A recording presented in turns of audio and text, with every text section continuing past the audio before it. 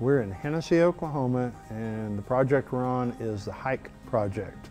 The project is a 4,200 square feet processing facility that we're building, total ICF enclosure for processing beef cattle, generally considered to be a farm, how farmers market their own beef direct. Tradition, as we always knew it, is the enemy in construction. You know, when I grew up, in the 70s and was working around my grandfather who was a carpenter and I started working with a framer and framing houses. The tradition of studs 16 on center, we build it this way, we built it this way because that's how we've done it for 100 years. We don't vary.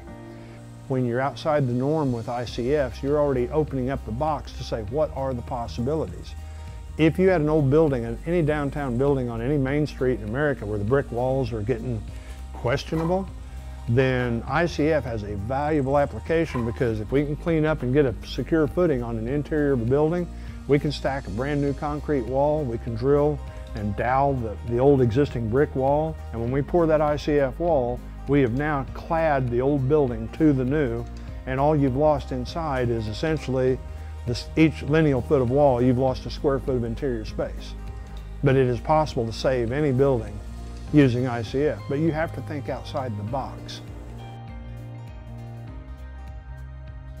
In 1921, when this, uh, this used to be the Opera House, so that disappeared and the gas station appeared in 1921.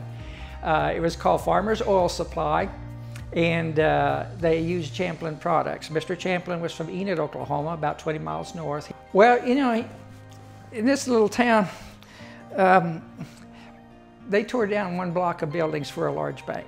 That just dismayed me. And uh, I told the town, I'm going to put up a building and you guys are not going to tear it down. I wanted to build, put up a building that's going to stay here for centuries. And uh, I told the town council, you're not going to tear down this building. It's going to cost you too much because it's going to be too strong. And that's why I went with Buildblock.